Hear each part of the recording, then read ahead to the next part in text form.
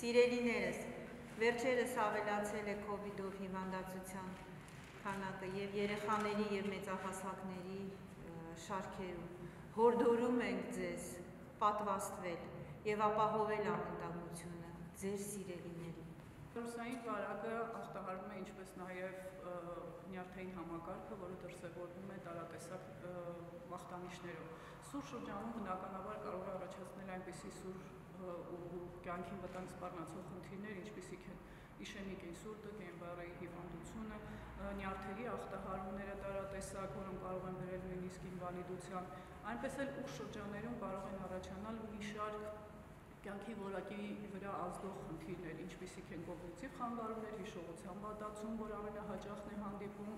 տարբեր տեսակ թմրացություններ, տագնապային խնդիրներ, ուստի ցանկացած հիվանդության լավագույն բուժումը կանխարգելումն է։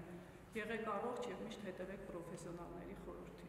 Բավականին երկար ժամանակ է մենք ապրում ենք իդի հետ միաժամանակ պայքարելով նրա դեմ։ Դա մեզ տվեց մեծ փորձ եւ իրավունք այսօր կարճ խոսել նրա մասին, քանի որ դա բազմա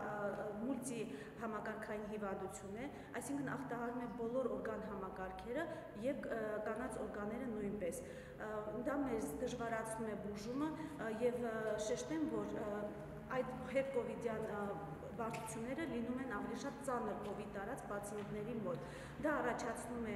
կոմորբիդ ֆոն եւ դժվարացնում է բուժումը։ Այսօր միայն զենքը համար միակ զենքը համարվում է պատվաստվելը։ Խնդրում եմ պատվաստվեք եւ օգնեք մեզ պայքարել դրա դեմ։ Հարգելի հայրենակիցներ,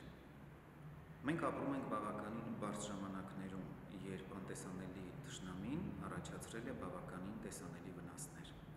COVID-19-ի համավարակը բոլորիս հիշեցրեց, թե ինչ է լինում, երբ չենք կարող վերահսկել արագ տարածվող վարակիչ հիվանդությունները։ Խնդիրը ել ավելի է բարթանում, երբ մարդիկ դառնում են ապատեղեկատվության զոհը։ Այսօր հաճախ կարելի է լսել այն բնդումները, որ պատվաստանյութը առաջացնում է բազմաթիվ կողմնակի ազդեցություններ։ Միֆերից մեկն էլ այն է, թե իբր պատվաստանյութը կարող է առաջացնել անպտղություն կամ էլ սեռական խանգարումներ։ Իրականում, իհարկե, պատկերը ճիշտ հակառակն է մեր կլինիկական դիտարկումները, ինչպես նաև ժամանակակից գրականության տվյալները փաստում են, որ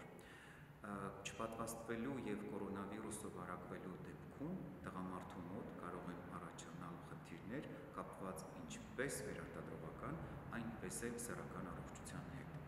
Հետևաբար, խնդրում եմ յուրաքանչյուրին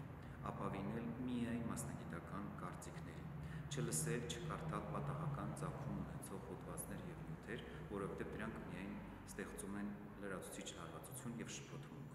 Եվ իհարկե վերջում ուզում եմ նշել, որ մենք պետք է գիտակցենք եւ կարեւորենք հանրային առողջության իրականությունը։ Առողջ